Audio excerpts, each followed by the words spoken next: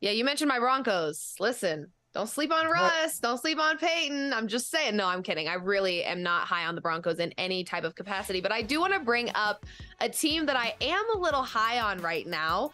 I know for a fact I'm about to get some maybe some some jokes thrown my way, some whatevers. But there is an underdog for this week, week 1 in the NFL on the Sunday slate that I am eyeballing that I absolutely love and that is the Steelers over the 49ers. I think Brock Purdy gets exposed this season offensively. Ooh. I am a Kenny Pickett believer. Mike Tomlin is a dog. He handed the Bengals a loss in their first game last season, a defense led by TJ Watt. And I don't know what Nick Bosa's situation is going to bring. So before it gets formally announced, I'm grabbing Steelers at plus money on the money line. Connor, is it a Live absolute out. death wish or do you like it? No, I'm with you all the way. This is one of my favorite picks of the week. I'm so glad to hear somebody else on it as well. Yes. I look at this game, the line is wrong. The line was wrong probably before the mm-hmm. injuries, and that is George Kittle is coming into this banged up. I count Nick Bosa as an injury, even though he's not hurt. He's in a contract Correct. dispute that is very significant. This offensive line has lost some pieces over the years. Brock Purdy is coming off a significant elbow injury. Listen, I'm a 49ers believer. Don't get me wrong. We've seen them start slow before.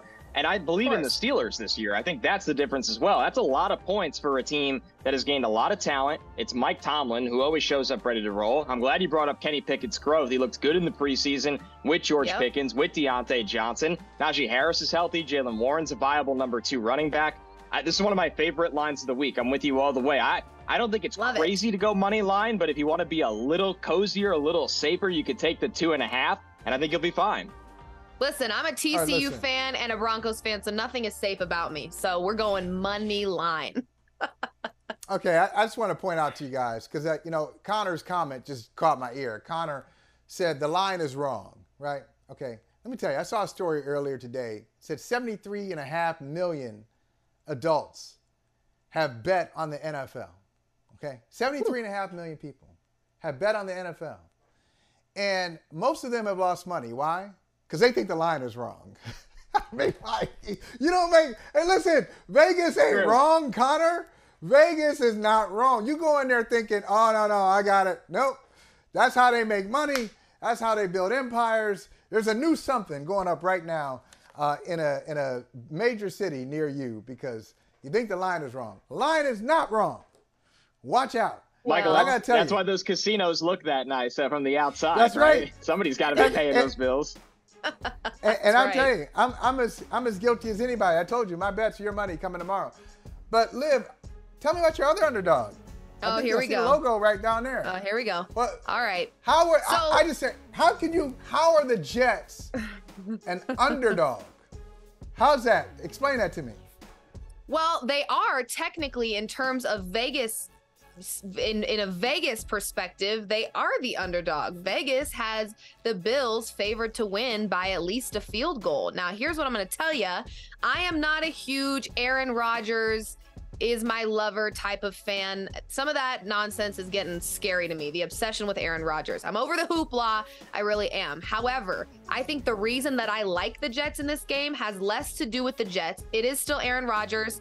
It's their home opener. There's a lot of hype. There's a lot of excitement not only do I like it for that reason, but I anticipate regression from this Bills team. So that is almost more of the reason that I lean with the Jets here. Again, I, I would like to take them on the money line. Sometimes with betting for me, if the line if it's under a field goal, I'm going to go ahead and just grab the money line, better value. And again, I don't play it safe around here. We just go, we don't dip our toes, we dive in the water. So again, I think this is more for me, not a reflection of buying into the Aaron Rodgers hype right off the jump, but more so, I expect regression from the Bills this season. So I like the Jets in this spot. Vegas thinks the Bills are winning by a field goal, but I beg to differ.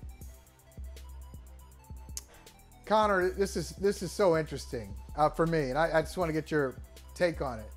Because as as I told our family yesterday, audience here, that I enjoy making fun of the Jets. It's just so easy. It's been easy for many many years, um, and, and generally, I would say it this way: like the Jets won Super Bowl three, and if like if you go back, if the Super Bowl logo was drawn in pencil, it really that doesn't really count. Like if the Super Bowl was played at like 12:30 like on a Sunday afternoon. Like, okay, if that if that's how long it was when your team won the Super Bowl, it's like noon.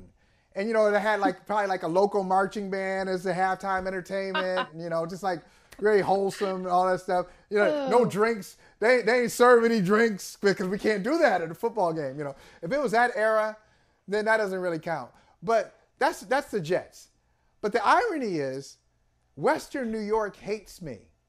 Like the Buffalo fans hate me because I said something uh, nasty about them a couple years ago and they haven't moved on. And it got so bad that there was a guy, true story, there's a guy, um, and that's not all of Western New York, it's just one Bills fan. He's a really dumb guy. So he was trying to, he somehow got my number, was trolling me, and I just kind of traced his, I just said, oh, I can figure out his number and figure out who he is. Like, like, anyway, but I didn't. I restraint. I showed restraint. I didn't like call him back and be like, listen, it's gonna be a misunderstanding if you ever call me again, whatever. But anyway, they, they, they're really Buffalo hates me, but I'm gonna tell you, Buffalo, Connor, is being underrated. Buffalo's the underdog, not the Jets. Did did Josh Allen leave? Stefon Diggs might want to leave. He didn't leave. Sean McDermott's still a good coach. They got they lost to Cincinnati last year. Cincinnati's a really good team, so they lost to Cincinnati in the playoff game at the crib. Got it. Why?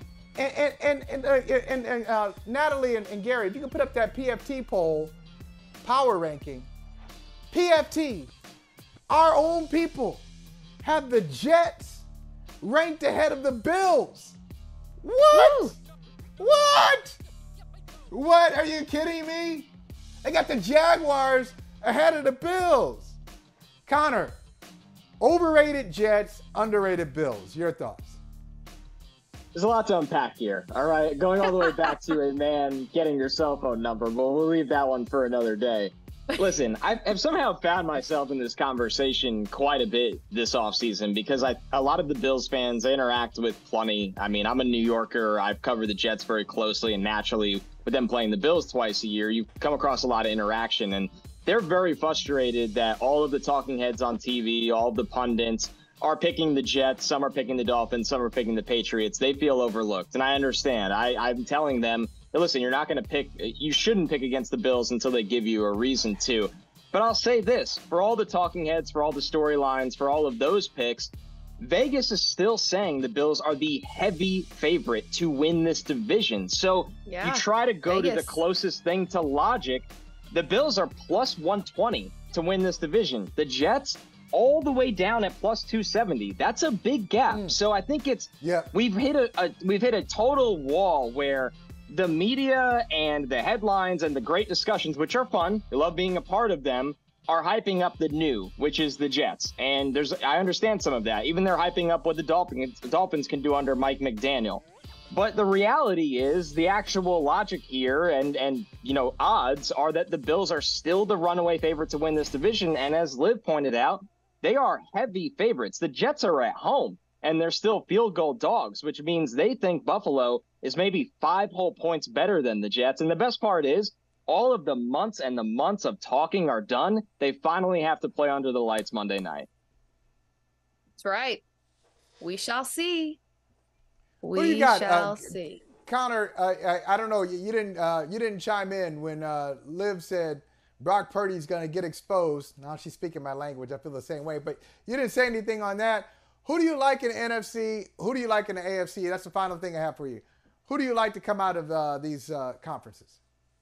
It's really chalk, but I, am still not going against the Eagles. I mean, the roster got better, and the roster was already great, and Jalen Hurts keeps getting better, and he has some of the best weapons in football. So it's just it's so easy to pick the Eagles because it applies logic and makes sense. And then when you look at the AFC, I mean, it was when everything was smooth sailing for the Chiefs. You honestly see a repeat Super Bowl, but going against that, I'll tell you, I really like two teams in the North, and maybe three after how I talked about the Steelers. I love the Bengals and the Ravens this year. Yes. I really, really do. I think the Ravens made a great hire in Todd Monken. They're going to be more pass happy. They're going to really unlock more of Lamar Jackson, which we've already seen him win an MVP. But now, if you have more of a downfield passing attack to go with the running, they're going to be really dangerous. And I just won't ever bet against Joe Burrow very often in my life, especially when he's thrown to Ja'Marr Chase and Tee Higgins. That's one of the the best coached defenses as a unit, not as standalone top heavy talent, but as a unit in the entire NFL. So I love Cincinnati and I love Baltimore. Okay, Connor, really quick before you go, I got to pick your brain on this because I don't know how you feel, but it's off of what you said. I've got an Eagles Seahawks NFC championship game, and I've got a Bengals Jags AFC championship game. I like the Jags. I like what Doug Pederson can do in year two with Trevor Lawrence, but I'm with you. I ultimately have an Eagles Bengals Super Bowl. That's my pick. Yeah. I'm really high on Seattle. I think I would pick them to yes. win that division if I wasn't going to take a favorite. They're plus 230 right now. They've added so much mm-hmm. talent through the draft. They've crushed both the drafts. Geno is still underrated, which is very odd to me. Now they got a third very. wide receiver in Jaxon Smith-Njigba. Second year of that young offensive line gelling together. Seattle will make a big run this year. I like that a lot. Yes. Still don't think they do enough to get over the Eagles, like you said. Jacksonville, here's the one thing I need to see, Liv. I need to see that defense become a game changing defense. I need to see them get takeaways. I need to see them be able to roll with the big dogs. I love the offense. I love Doug Pederson. They have Calvin Ridley now for Trevor Lawrence. They got two running backs that can really play. I need to see that defense be able to hang with the top elite quarterbacks in the NFL. If they can prove that, that's the difference of them being, you know, appearing in the playoffs, maybe stealing a game and actually going to a conference title game. Love it. I love, I love it, love it. Connor Rogers, it has begun. As you said, talking time is about over. I mean, well, not right. over. We'll continue to talk, but there's talking time, and we got games.